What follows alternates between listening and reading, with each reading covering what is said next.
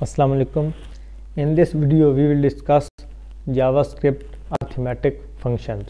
ये किस तरह से JavaScript के जो मैथ फ़ंक्शन है, वो काम करते हैं मैथ में हमारे पास plus minus multiply division reminder increment decrement जितनी भी हमारे पास यानी मैथमेटिक ऑपरेशन हैं, वो सारे के सारे हम जावास्क्रिप्ट में परफॉर्म कर, करा सकते हैं तो सबसे पहले हम एडिशन वाला देखेंगे यहाँ पे एक मैं वेरिएबल लूँगा वेरिएबल को मैंने नाम दिया एक्स और इसमें एक वैल्यू दे दी फोर उसके बाद एक और वेरिएबल ली और उसे मैंने नाम दिया वाई और इसमें को मैंने दे दिया थ्री टू दे देते हैं।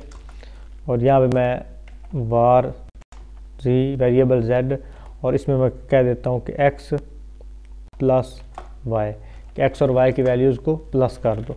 और यहाँ पे मैं इसको शो करवा देता हूँ ब्राउज़र में डॉक्यूमेंट राइट करके और यहाँ पे जी अब इसे सेव किया।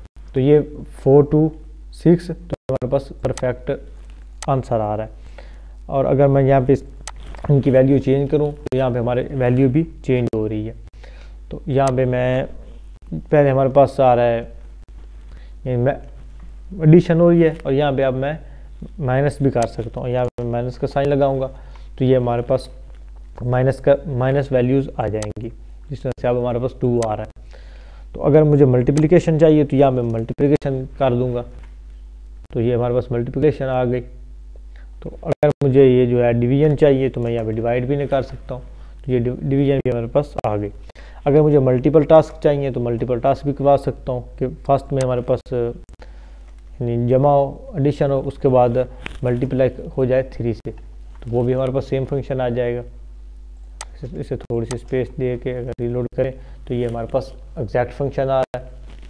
तो इस तरह से हम, सबसे पहले मैथ्स में मल्टीप्लिकेशन होती है ना थ्री टू हमारे पास सिक्स हो गया और फोर एक्स जो फोर वो हमारे पास हो गया टेन तो इस तरह से हमारे पास मल्टीप्लिकेशन डिवीज़न और ये सारे हमारे पास परफेक्टली फ़ंक्शन काम कर रहे हैं। इसके अलावा एक हमारे पास होता है रिमाइंडर अगर मैं रिमाइंडर के यहाँ पे लगाऊँ तो मैं रिमाइंडर के ज़रिए भी हमें कंप्लीट रिज़ल्ट देगा।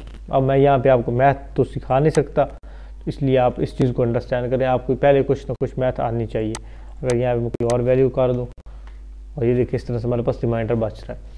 तो इस तरह से आप जावास्क्रिप्ट के जितने भी फ़ंक्शन हैं, वो ऑलमोस्ट सारे परफॉर्म करवा सकते हैं। इसके अलावा एक और हमारे पास होता है डिक्रीमेंट और डिक्रीमेंट अगर मैं यहाँ पे टू करूँ एक्स की, और यहाँ पे मैं लिख दूँ एक्स एक्स में हो जाए प्लस प्लस सॉरी एक्स में। एक्स और उसमें इंक्रीमेंट हो जाए मतलब उसमें जो वैल्यूज़ है, वो बढ़ जाए।